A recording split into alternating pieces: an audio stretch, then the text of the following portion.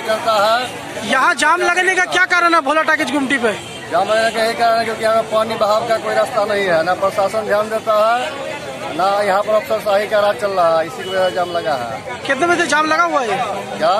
कितने बजे से जाम लगा है? जाम सुबह दस बजे से। मेरा नाम अमित कुमार हुआ।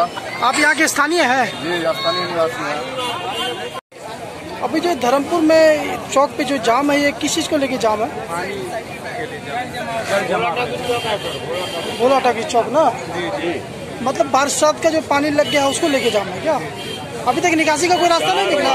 चार वार्ड। वार्ड नंबर दो वार्ड नंबर तीन और वार्ड नंबर नौ। इसका नहीं नहीं नहीं। R N R college B Ed college इन सबों का पानी निकासी का अब तक कोई व्यवस्था नहीं हुआ। इसके लिए 24 तारीख को हमने उनको डीएम को कार्यपालक पदाधिकारी को, चेयरमैन को सबको लेटर दिया था, मगर आज तक अभी तक कोई व्यवस्था नहीं हुआ। इसकी सूचना उनको पूर्व से है एग्जीक्यूटिव साहब को। उन्होंने अपना मेरा फ़ोन नंबर और बाकी लोगों का ब्लैक लिस्ट में डाल दिया। डीजल चल नहीं रहा। हमने कहा कि सौ के का जो देहरादून से आपने मंगाया है वो लगा के पानी निकासी करा दें। हमारे यहाँ जो वृद्ध लोग हैं रिटायर लोग हैं बच्चे हैं एक तो कोरोना से मर रहा है दूसरा इससे मरेंगे। से प्लेग से मलेरिया से। मतलब पानी सड़ चुका है। सड़ गया है। तो उस ऑफ़िस इसी ऑफ़िस में हो रहा है।